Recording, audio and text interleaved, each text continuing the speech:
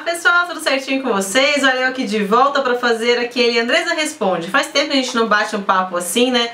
Porque é gostoso. A gente, eu sei que vocês querem saber. E aí eu vou pegar algumas perguntas aqui do Face, que eu já dei até uma olhada lá da fanpage. Foram 80 e tantas perguntas só agora de manhã. E aí eu quero responder algumas para bater papo, tá? Vocês me perdoem se vocês ouviram os batuques aí, meu vizinho resolveu reformar o apartamento. Aliás, esse prédio é uma eterna reforma, vive reformando. E eu coloquei um ventiladorzinho aqui do meu lado porque está inviável, porque ninguém merece eu aparecer transpirando no vídeo, né? Fala a verdade. Mas estão aqui as perguntas e eu vou responder algumas delas para vocês, tá bom? Então vamos lá. Luciana Salles, como fazemos para combinar cores de sombras? Existe uma regra de cor quente com cor fria ou a gente se joga e acredita que vai dar tudo certo? Você é linda e não vejo a hora de ver seu livro. Um beijo, Luciana.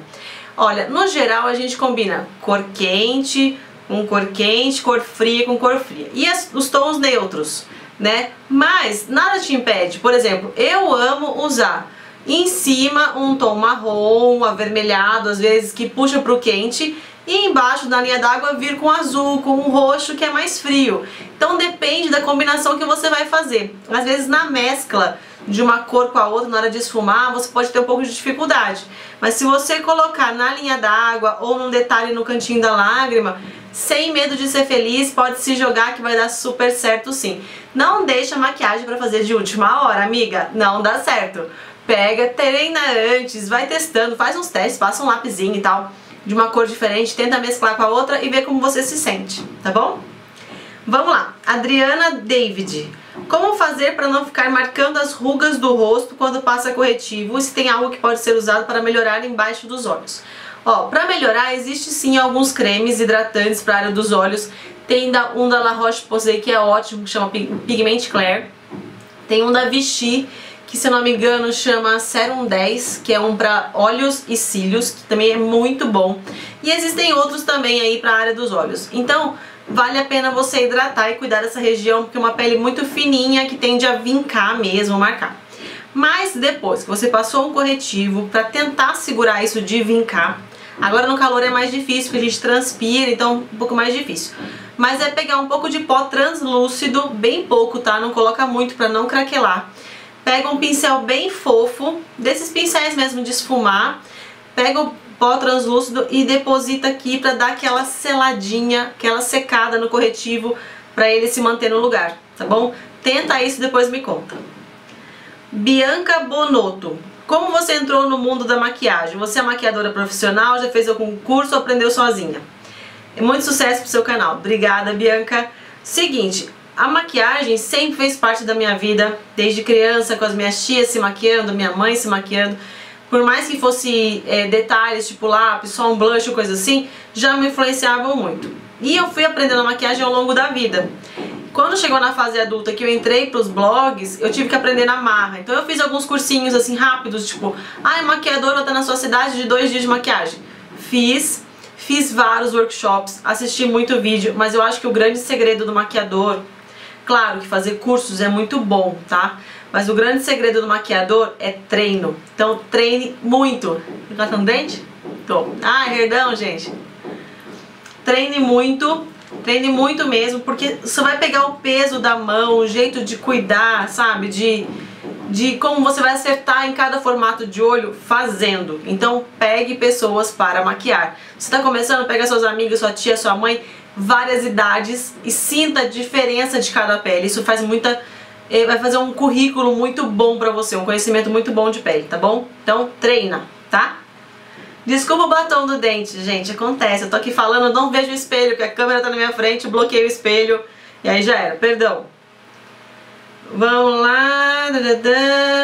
Ana Paula Ribeiro Carvalho. Andresa, beijo Ana Paula. Andresa, eu queria saber como você faz para ter acesso a novidades de maquiagem, moda, sendo que moramos numa cidade pequena no interior do estado. Sim, eu moro aqui em Itajubá, Minas Gerais.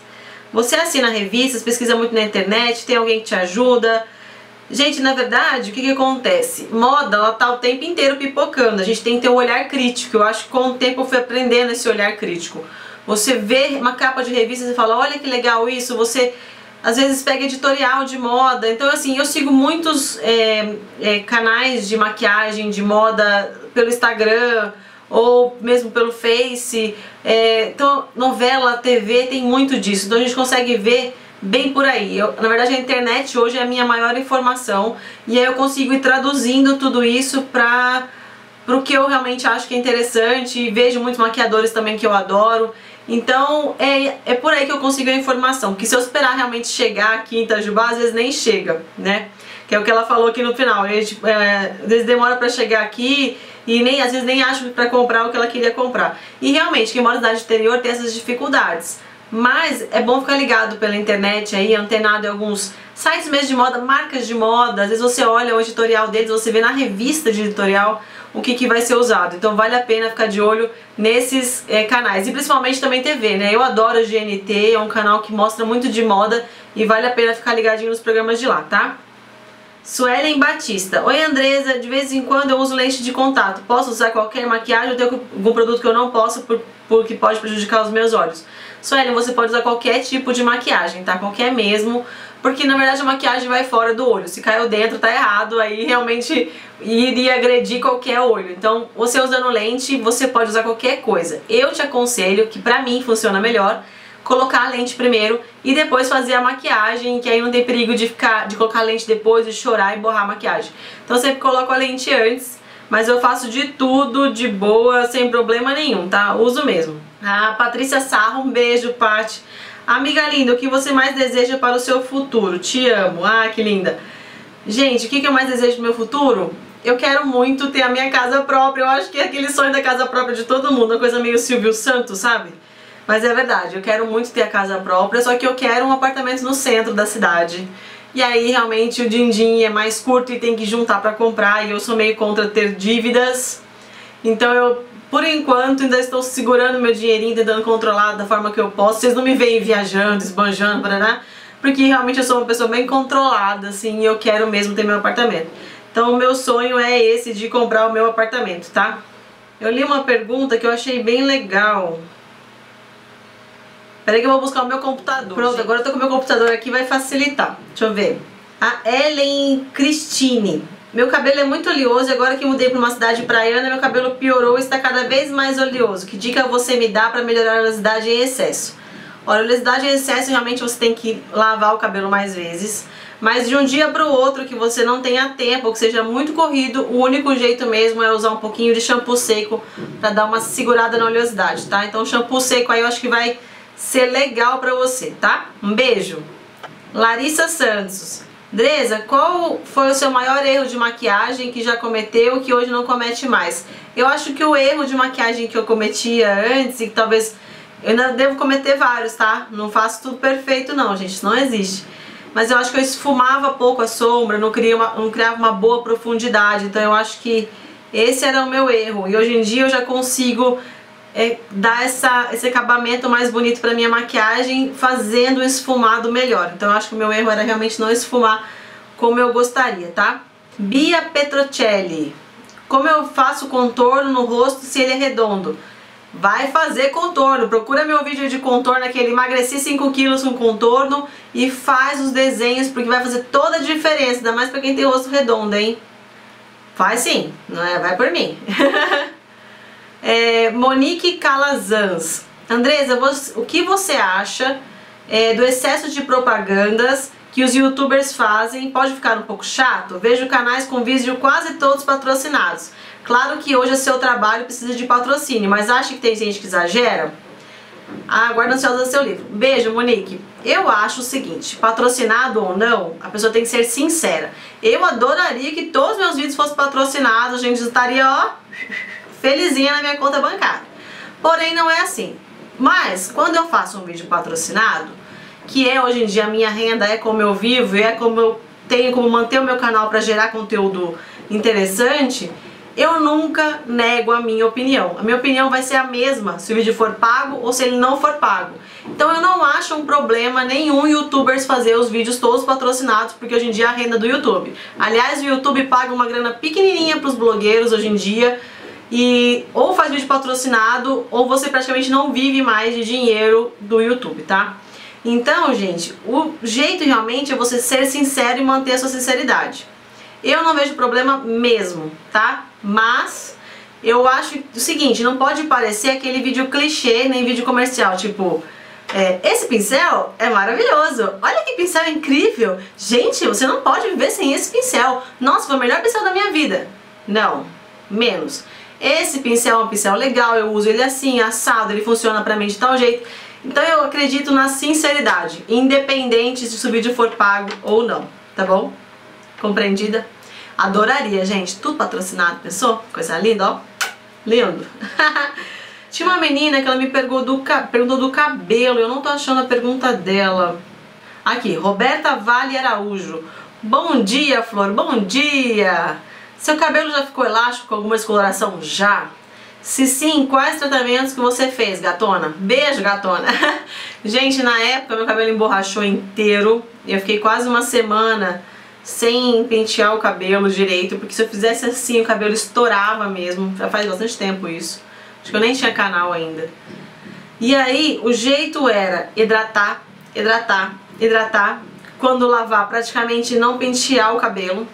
E aí eu é, depois descobri que quando tem algo que seja mais ácido, o cabelo dá uma segurada. Então na última enxágue do cabelo eu colocava um pouquinho de vinagre, assim, pegava uma jarra com água, colocava um pouquinho de vinagre, mais ou menos uma colher de sopa, para dar aquele banho final. Hoje em dia existe os shampoos, já shampoos que são desses estilos que são para segurar melhor o cabelo, para não quebrar e tal, não danificar. Mas, até com razão, ó. Mas, gente, é, cuidado com o profissional que faz isso, tá? Não deixa chegar nesse nível de emborrachar, não. Se o profissional tá fazendo isso com o seu cabelo, na hora fica bonito, mas depois arrebenta tudo, vai dar um trabalhão para recuperar. Então, cuidado mesmo, tá? E cuide bem, hidrate muito. Se você vai fazer luzes no seu cabelo, tenha certeza que ele vai aguentar as luzes. Se ele tiver muito fininho, ressecado, ele não vai aguentar e vai arrebentar inteiro. Então não vale a pena fazer química em cabelo que tá sofrendo, tá? Só mais, mais duas, tá bom? Paula Costa, bom dia! O que fazemos para nossa pele ficar como uma seda? Beijo, Paula. Grande segredo da pele? Água tomem bastante água. Tomem bastante água. Gente, a pele é de dentro pra fora, tá? Então, realmente, se você toma bastante água, se você repõe os seus minerais direitinho, tanto pode ser uma água termal para você borrifar, mas comer frutas, legumes e verduras fazem muita diferença, tá? Fazem mesmo. Hidratar a pele, é, usar antissinais, são, é legal? É legal, são atitudes legais.